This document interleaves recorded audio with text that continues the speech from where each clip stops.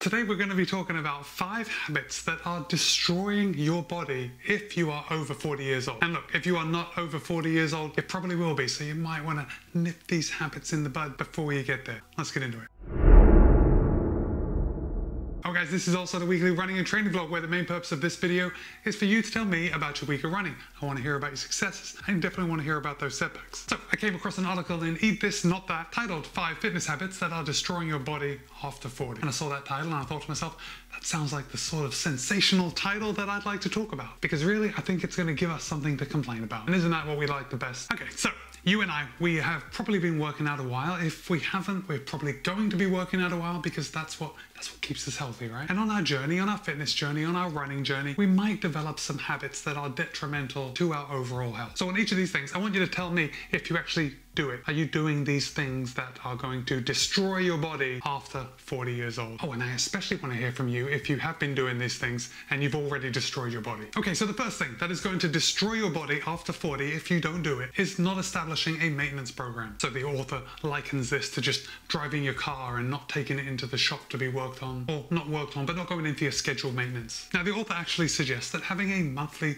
massage would be the most ideal option. And maybe you're out there and maybe you do have a massage massage each month. Personally, I'm not really a fan of getting a massage, so it sounds like a bit of a nightmare to do it every single month. But I think what they're really getting at is that soft tissue work is what we have to focus on. And we know it's not just as we get older, not just once we reach the age of 40. This is something that we should probably be focusing on a little earlier too. And it can be as simple as getting a tennis ball and rolling it into those trigger points when you feel something tight in your muscles, you just want to roll it out. The same thing if you have a sore back, you can put the ball against the wall and just kind of roll it up and down the back. But I tell you what this sounds like. This sounds like just another article telling me that I need to foam roll. They're just using the word ball instead of foam roller, but ultimately that's what it comes down to. So unfortunately, this is one of the things that I am guilty of. I do not have a maintenance program.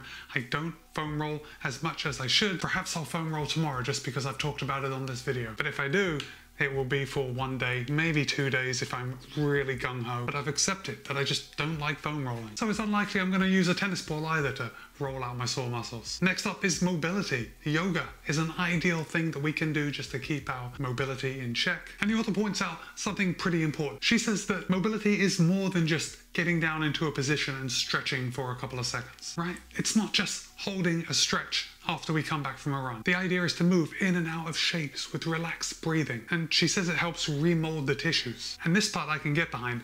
It promotes the future access to these positions. So go ahead and get in your downward facing dog because in 20 years from now, you're probably going to want to get in that position. And if you don't do it now, you might not be able to. As soon as I get done filming this video, I'm going to go and practice corpse pose as that is my number one position. I could just do that all day long. Okay, the number two thing that will destroy your body after the age of 40 is insufficient protein intake. And this is probably pretty important if you are not getting enough protein in your regular diet. Obviously, we want to have a balanced diet and we've got the main macros, fats, carbs, protein, but fats and carbs are going to provide your body with fuel and energy, whereas protein is going to rebuild your muscles. Increasing your protein intake is going to help with weight loss, it's going to help keep a lean muscle mass. And if you are still going to the gym working out, which you should, to help you increase strength. Okay, the third thing that is going to destroy your body after the age of 40 is poor hydration. Now, I don't know if you've heard this, but I hope this isn't the first time you've heard that we have to hydrate. And of course, there are loads of companies out there with their sugar-filled drinks that will hydrate you well. Now, just kidding. We probably need to avoid these sugar-filled drinks. And not just for the, the possible weight gain that we can get from drinking too much sugar, but also we don't want these, these sugar highs and crashes that we get if we have too much sugar. Keep ourselves on an even keel. Drinking the right amount of water is also going to support our and support a healthy body weight. And our body's connective tissues rely on adequate hydration. So if you are not adequately hydrated, your connective tissues can get in a brittle state and they can become more susceptible to injury. I don't actually know if that's true, but the article says it, so there must be something to it, right? And I got this article from the internet. Okay, so the article brings up something that I found pretty interesting. It says that when you have your nutrition dialed in, it's then that you can start paying attention to electrolytes. And also that when you eat a clean diet, you may need to add electrolytes back into your water or add them into your water to maintain a proper balance. Of course, these are sodium, potassium, magnesium, but I'm thinking that in order to eat healthy, I'm just going to add a little more salt to my fries for dinner tonight and we'll just call it a day. Okay, the fourth thing that is going to destroy your body after the age of 40 is not warming up appropriately. Guys, I'm kind of laughing because this is just This is crazy stuff. It's all new to me. Have you ever heard this that you have to warm up before you work out? Well, the article says that we should be warming up for at least 10 minutes before we work out. And when we're warming up, the idea is to get our heart rate up, maybe even break a little sweat, and to be doing movements that are going to mimic what we're going to be doing in the actual workout. So obviously, when we warm up, we are going to do our workout a lot better. It's going to feel a lot better sooner, but it's also going to reduce the risk of injury. And I think that is the most important takeaway.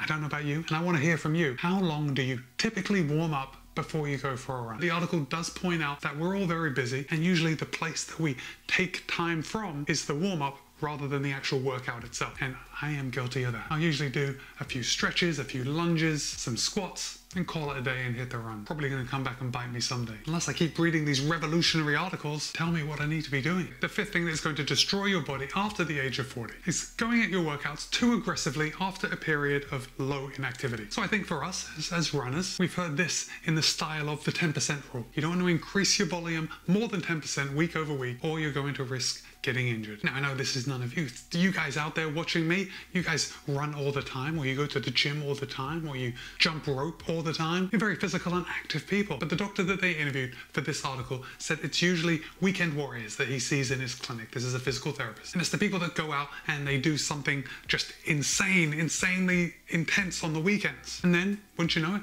they pull a muscle, they hurt themselves, they throw their back out. You and I, we are lifelong, lifelong runners, lifelong exercisers. It's unlikely that we're going to become a weekend warrior, but we still have to pay attention to it. Can't do too much too soon. Guys, I know I really phoned this one in this week. So to summarize, we need to foam roll, do yoga, eat well, drink enough water, warm up before we work out, and don't do too much too soon. Guys, I hope you have a pen with you and you're writing this stuff down. But if you didn't, go back to the beginning, watch the video again. There's a lot of nuggets in this one. And I actually had a pretty good week of running. Now, I am back from holiday, but I got back at the end of the week. So I figured I would just make this video without my actual week of training inserted in, but that will continue next week. And if you have made it to this point in the video, because I said I phoned it in, why don't you drop the phone emoji in the comments, just so I know you've made it all the way to the end of the video. And guys, don't forget to let me know about your week of running. Remember, successes and setbacks. Be kind, be happy, run well. I'll see you in a couple of days.